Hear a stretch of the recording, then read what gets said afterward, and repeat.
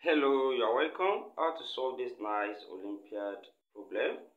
From here, we can rewrite this as a square root of 12 multiplied by 13 here we can write it as 12 plus 1 and then times we can write 14 also as 12 plus 2 then multiply by 15 also as 12 plus 3 then plus 1 so from here we have this written again.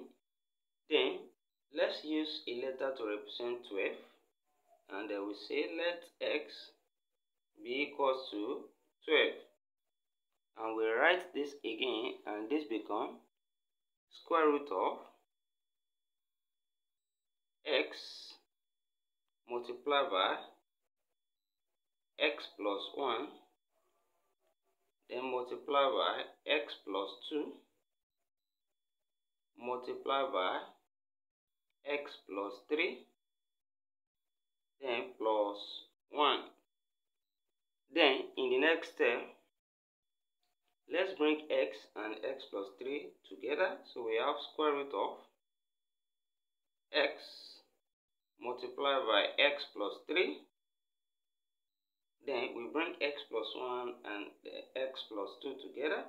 So times x plus 1 then x plus 2 then plus 1 then let's expand this from here.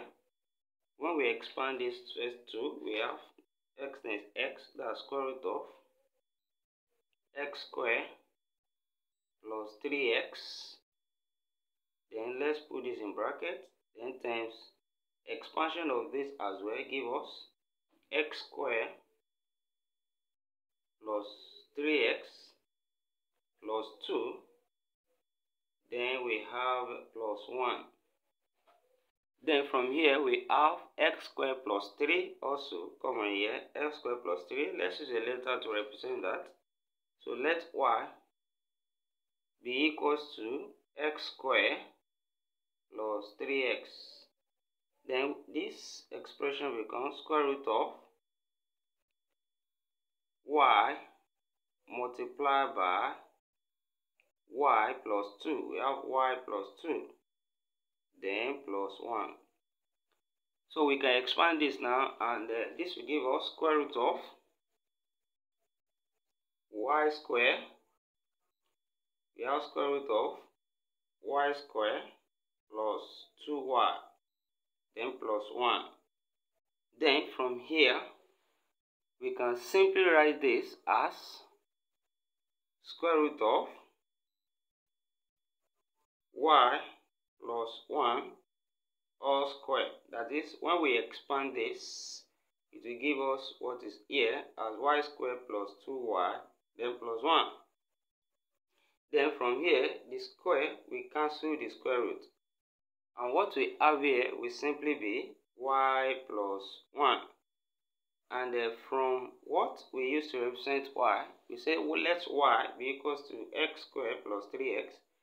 So we can write this again, and this will be x squared plus 3x, then plus 1 we have replaced y as x plus 3x and we represented x as well as 12. So we say let x be equals to 12 from here.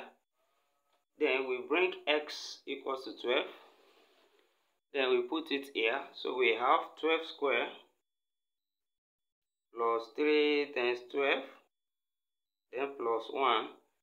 When we simplify this, 12 square is 12 times 12 which will give us 144 then plus 3 times 12 that's 36 then plus 1 and when we add this together this gives us 181 so here the solution to this problem is 181 we have come to the end of the problem.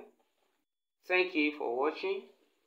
Don't miss out. Subscribe to my channel and also turn the notification bell on. See you next class and bye for now.